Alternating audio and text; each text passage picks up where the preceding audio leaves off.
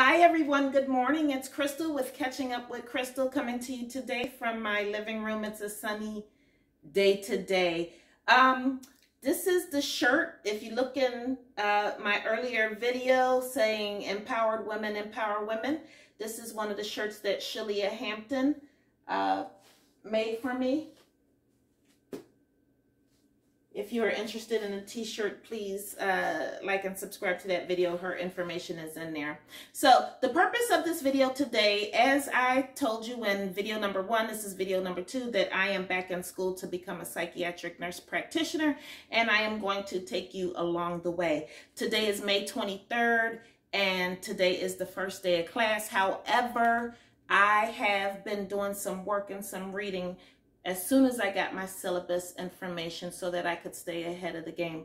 Now, this is an online program, um, and so part of the way I plan on being successful is managing my time, and that is staying ahead of the syllabus so that I am able to work as well as complete this program. I was told that I would need at least 15 to 20 hours per week of study time, and so um, I will be doing that. So this is a graduate level program. Um, when you're in graduate school, you must get a B or higher in order to pass the class. Anything less than a B is uh, failing and you will have to retake the class. And that goes usually across the board with most graduate level programs.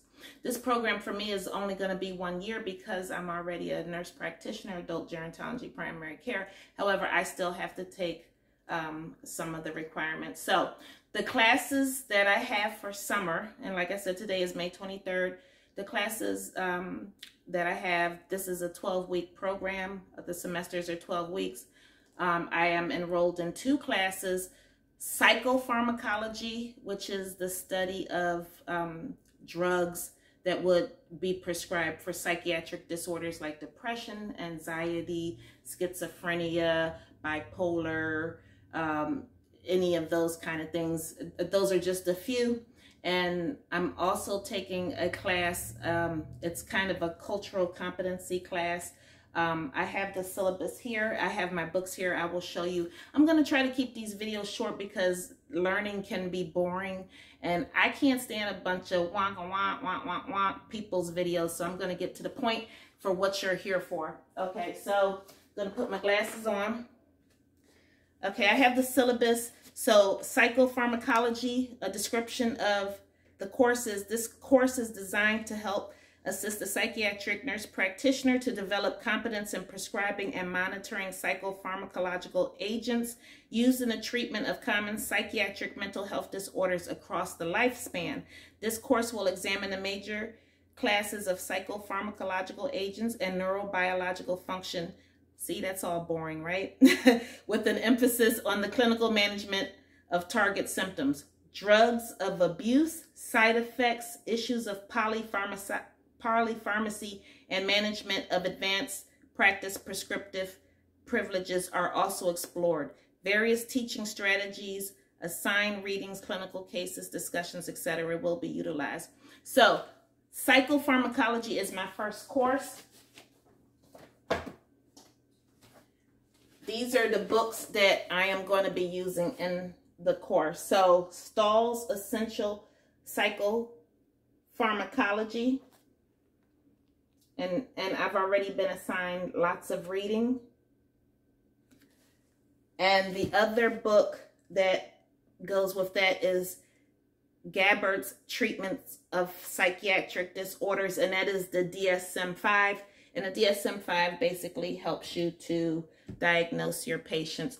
So I have already been given my first assignment, which is a discussion board. So every week we are expected to go onto a discussion board and and post depending on what the assignment is. So because this is just the week one, the discussion board assignment was to log on, introduce yourself, give a little bit of your clinical background, um, and what you expect to get out of the course, why you took the course, et cetera, et cetera. So I have already did that. I wanted to stay ahead of the game. I have uh, been assigned several chapters of reading um, to do in those books, those two books that I showed you. And so that is what I will be doing today.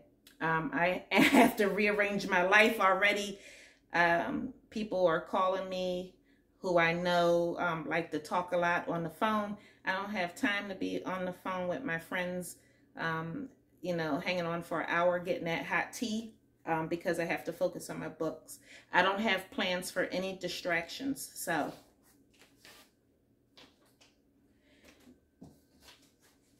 here's the book that I'm using for my second class. Okay. The second class that I'm taking is called Health Perspectives of Culturally Diverse Rural and Underserved Population. The description of the course is this course is designed to introduce the advanced practice nursing student to the issues of culturally diverse rural and underserved populations. The theory can be integrated into clinical practice for patients and families in primary care settings to promote understanding of differences in issues that impact comprehensive planning of healthcare services. So I had two assignments for my discussion board for that class, and I already did those. Like I said, I'm staying ahead of the game. Um, and the first one was an introduction. Tell a little bit about yourself, who you are, your, your clinical experience and your background, um, why you decided to take the course, and are you going to continue your education after completing this course to get your DNP, which is the doctorate degree, which I don't plan on um, doing that. So that was my first discussion. I posted that. That's done. The second assignment was I had to post um, a discussion about uh, communication with other cultures. So um, I that required me to obtain a couple of journal articles. We had to have at least two um, resources. The papers had to be written in APA format and it had to be at least 150 words. So that is what I did. And so I have already submitted that as of this morning. Um, it's not due until Wednesday. And then you have to respond to somebody else's post by Sunday. So that is it. So I hope that this information has been helpful to you. Um, I wanted to keep the video short. Please come along on my journey as I get this psychiatric nurse practitioner um, postmaster certificate. I'll try to keep the videos interesting um, and I will post a video about the cost in the next um, video. Please like and subscribe to my channel. Hit that bell notification so you know when new content is posted. Life is what you make it, so make the most out of life. Can you keep up with me? Because you never know where I'm going to be. This is Catching Up with Crystal. Please like and subscribe. Have a great day. Stay blessed. Be safe out here.